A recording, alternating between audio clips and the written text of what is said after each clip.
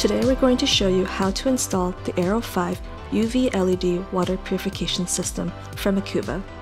The Arrow 5 is our high performance system designed to easily fit under the sink in your home, cottage, RV, or boat. It provides you with safe drinking water that is convenient, low maintenance, and environmentally friendly. In the box, you'll find the Arrow 5 system, inline filter, a DIN rail, 3 8 OD tubing, a quarter inch OD tubing, power plug cable, filter clips, a half inch PEX to 3 8 OD T shutoff valve, a 3 8 to a quarter inch reducing union straight, and four number 5 wood screws. You'll find the smart faucet, the spacer and fastener for the smart faucet, and the tube support and ferrule.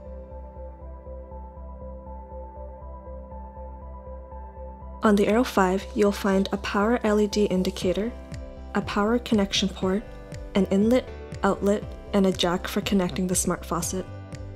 For installation, you'll also need a cordless drill, wrenches or a crescent wrench, something to cut the tubing with, measuring tape, screwdriver, and a pencil. Before installing the Arrow 5 system, please inspect the device to make sure that it has not been dropped or damaged. Do not store it in freezing conditions and do not submerge it underwater.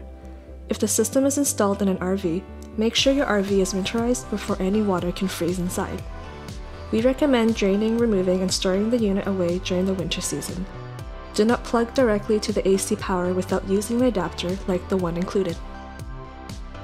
Begin by deciding where you want to mount the system. When deciding the placement, Make sure that you'll have enough space to connect the tubing without it pinching or folding. Mark where you want to mount the arrow and the inline filter so that you can attach the DIN rail and the filter clips using the included wood screws. Next, turn the cold water line off so it can be cut. When you cut the line, it's normal for a small amount of water to drain out of the line.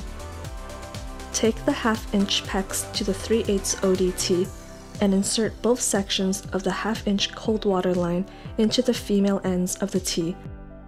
Cut a length of 3 8 inch tubing that will connect the T to the pre-filter. Feed the compression nut and brass ferrule over the tubing. Insert the tubing into the ODT and use a wrench to firmly tighten the compression nut. The tubing should stay in place when pulled. Connect the outer end of the 3 8 tube into the inlet side of the pre-filter. Make sure that the water will flow in the same direction as the arrow on the filter.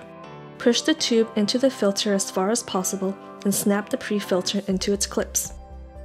Mount the arrow by pressing down on the spring mechanism and hooking the clip into the previously installed DIN rail. Cut another length of 3 8 tubing and connect the inlet on the arrow to the pre-filter. Gently pull on each connection to make sure it's properly sealed.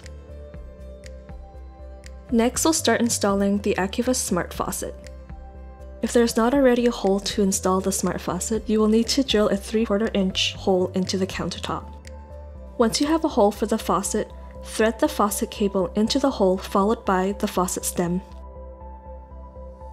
Under the counter, thread the faucet power cord through the plastic spacer. Make sure that the O-ring seal is facing up so it seals against the counter.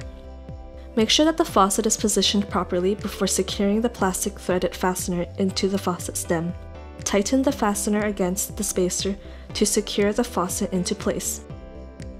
Cut a section of quarter inch tube and slip on the hex nut, followed by the plastic ferrule and plastic tube support as demonstrated. Tighten the hex nut to the threaded rod of the faucet by hand before tightening the nut with a wrench. Cut a final section of the 3 8 inch tubing to connect the arrow with the smart faucet. Use the straight reducer adapter and connect the quarter inch OD tubing to the desired faucet.